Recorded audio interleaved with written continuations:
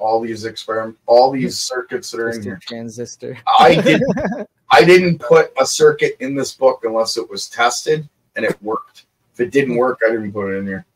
Nice. Yeah.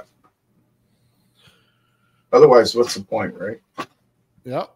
Yeah. We're gonna need some bulletproof circuits here because I, I'm getting a coil. We're gonna find out real quick how these things work. That's a good philosophy. I'm excited to see your coil. Well, I'm gonna build two, so I'm gonna find out, and I have an idea for one. Ooh. 'cause I'm gonna I'm gonna make part of it a control coil. So Who we got going on here? Right. Uh, how do I how do I This is- present him? Solo. well, that's. Mike's battery. There you go. Yeah, there we go. That's my battery Very cell. nice. It's uh next week. It'll be one month. Oh, so. Wrong one. yeah, wrong one. Oh, dang it. My Come bad. on, man. We had it. There we There go. we. There you go. Two of us clicking at once was the problem. It's okay. We got it. So it's four cells. Uh, next week will be one month that it's been running. So yeah, I've been doing a lot of material science, especially with magnesium. And the key to a lot of these cells to make them last is how to uh, stop the oxidation that goes on on the plate uh, magnesium. So there's several techniques that I'm working on right now to look very promising. So if that works, uh, I could have this thing running well over a year. So Wow. How long you said it was? It's been running a month. it'll be a month next week. Wow. So like right now, these plates are on the inside, they're completely oxidated. And as you can see, it's still producing power. hmm So Is that the what- blackness? Black. what's that? Uh, no, actually, it, it's a hazy, kind of like a hazy white that forms on the magnesium. on the tips. So even after it being oxidized, it's still producing power. So what's going on inside is very important. Why this thing is technically this battery should not be producing any power anymore, but it is. And the hmm. question is why? So there's a lot of science, quantum tunneling, Casimir effect, all that's you know definitely possible. Now's the yeah. Now's the interesting part, Mike. You you built a device, and now you got to figure out how it's doing and what it's doing. well, yeah, because It's not galvanic, right? it's not because if I put my hand, if I put my hand on the cell and put a meter up Mm. to it, the voltage increases. So I have a thermoelectric conversion happening as well, That doesn't Oh, sound that's galvanic cool. at all. right? That's so cool. So So, if it's not galvanic, how is it oxidizing? well, that's don't the big question. yeah. There must be That's- something on there that's very small amount of galvanizing properties are going on there somewhere. Yeah. the So surface. what I'm ultimately what I'm working on now is how to preserve the magnesium and still put out an ionic charge. If I succeed with that, these technically these cells should last for years. Hmm. So there's two um, two processes that I'm working on right now that are looking very promising. I don't want to make any claims just yet until I actually have it in operation.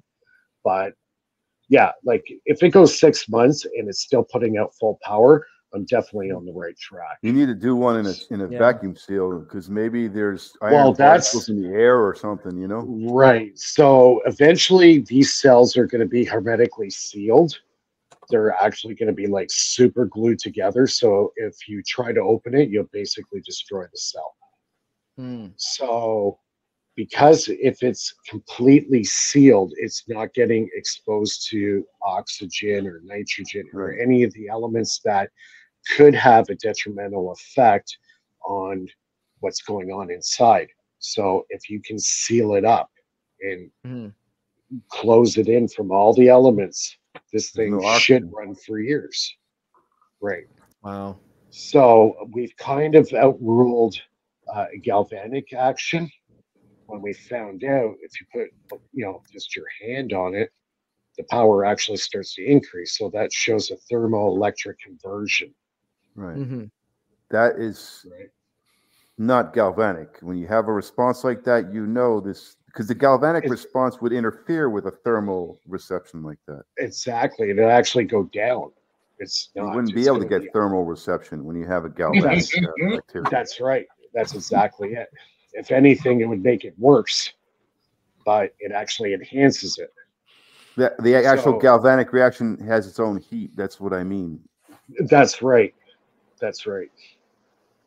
So there's a couple elements in there that um, are kind of the the magic, what goes on inside.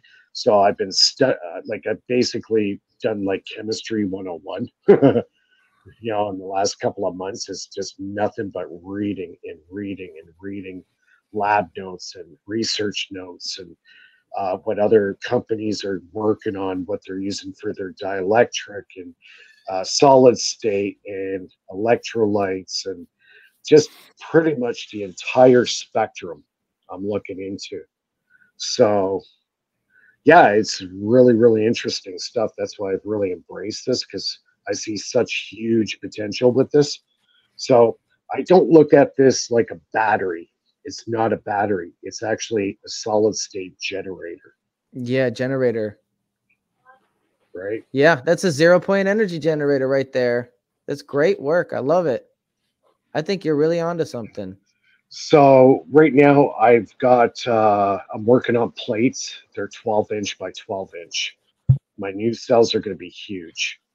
I have enough material right now to make six cells. Each cell should be putting over one amp.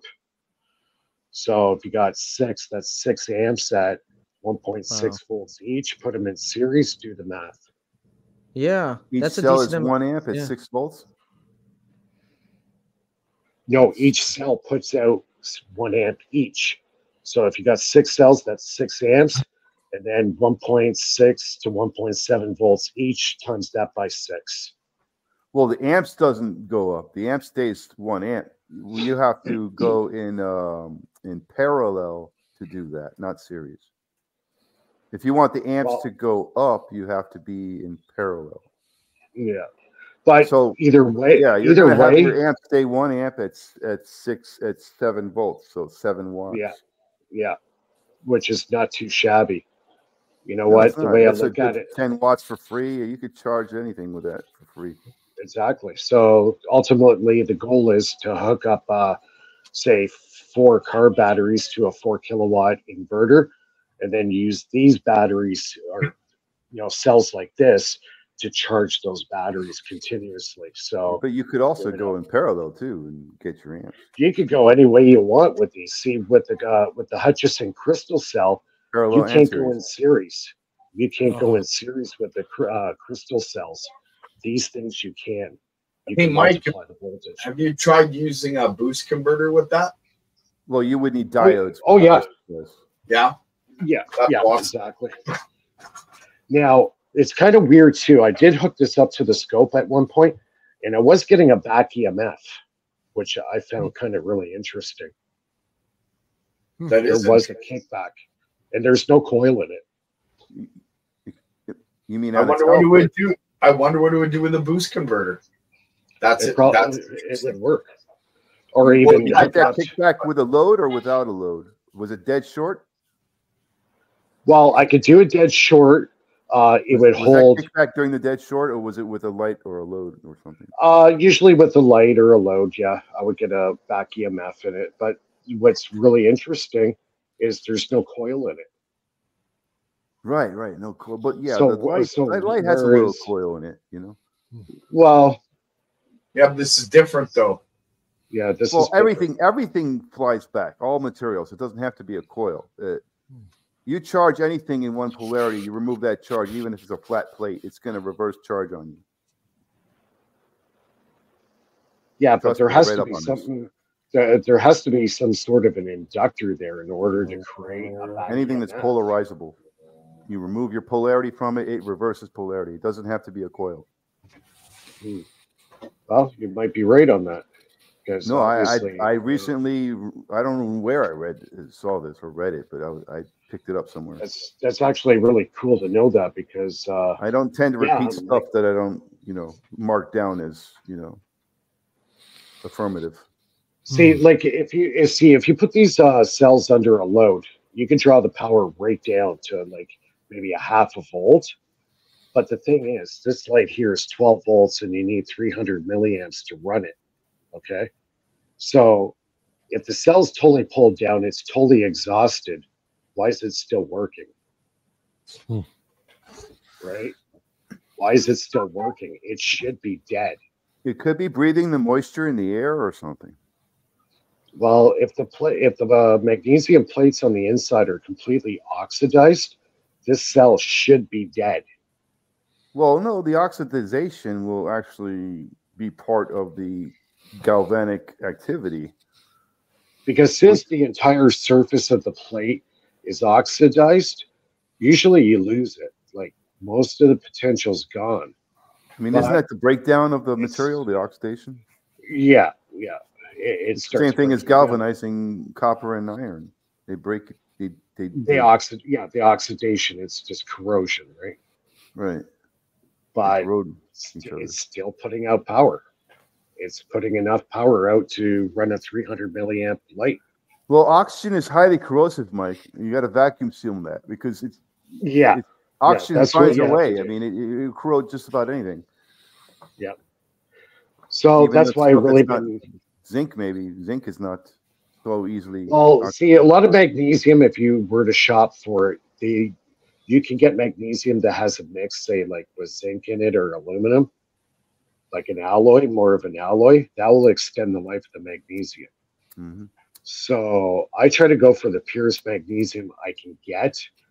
And now the the trick is is to make that magnesium last. So there's a couple of techniques I'm working on right now that look very promising. So you know who holds that secret? The ancient samurai builders of those swords. They know how to do that with magnesium and carbon and stuff. They mix carbons, some, like somehow they purify the carbon. something. well, they well, what they do is they dope it. It's like uh, uh, putting a film on it. So I'm coming up with a special film that go over the magnesium, and that will retard or almost completely stop the the corrosion process. But the other problem is you got to still make the magnesium reactive, so it has to be able to still transfer, you know, the ions through that medium. So that's what I've been working on. That's kind of like the six million dollar question is how to do it. So there's a couple that I'm working on that look very promising. So hopefully when I build the big cell, I'm going to actually use one of those ideas to preserve it and we'll see what happens.